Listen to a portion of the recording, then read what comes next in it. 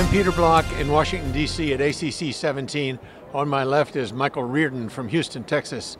And Mike has just finished talking about the Surtavi trial. Uh, we now have an exciting trial, another product that we can use for transcatheter aortic valve replacement. Mike, tell me about Surtavi. Tell me about where we stand with this and the, uh, you know, very exciting opportunities that now lie before us. Well, Peter, Surtavi met its primary endpoint. It had some great 30-day safety, and your quality of life improved a lot faster. I think this is going to lead to this valve being rapidly approved by the FDA, which means we'll then have two valves in intermediate risk population that you and I as implanters can choose from to help our patients.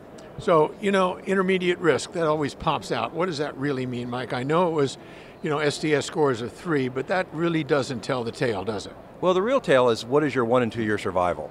The more you survive, the, I mean, the healthier you are. And if you look at the survival in this trial, it was better than partner 2A, it was better than the other trials because it's a lower part of intermediate risk. But again, we now have an STS, the mean STS of 4.4 and 4.5. So we're really moving down closer to what we all consider real low risk. And it gives us some real hope that as we move to low risk, these two trials are running now, Partner 3 and Evolut Low Risk Randomized, could give us some really interesting data. Yeah, I think those trials will push us a little bit further. So let me ask you about the other side of this that we don't talk about much, and that's the surgical side.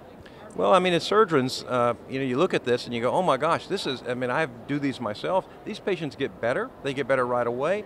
In a week, they're back to normal. Now, a lot of my surgical friends think, okay, if we get this approved in intermediate risk and then finally low risk, all the cases will go away. Not true there are patients that are still be better for surgery and the right heart team will make good decisions and choose what's best for the patient. What it means is the options will be there. Not everybody will get TAVR. Yeah, no, I agree with that. The surgeons are really getting good at this operation. I mean, but the interesting thing about your trial is that the stroke rate and all the other sort of secondary analyses came out in favor of? TAVR. Right. Yeah, yeah. So, uh, you know, stroke rate is less, uh, the patients were in the ICU a short period of time, less transfusions, less atrial fibrillation, quicker quality of life, uh, better six minute walk test, which you didn't see, but it, it, it's there. So I think we're seeing a lot of advantages to TAVR as we move down. And I think what you and I will do as a cardiologist and a heart surgeon is we're going to look at a patient's anatomy and match that to their physiology and their desires, and we're going to make a decision that's best for them.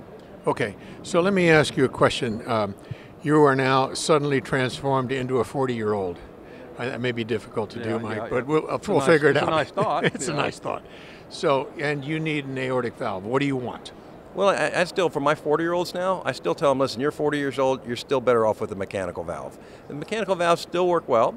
They're still the best one and done for a 40 year old. It gets a little more difficult when you get to 50, because when you throw me 50, then I, then I say, okay, I have good, good data between 50 and 60, the survival's the same.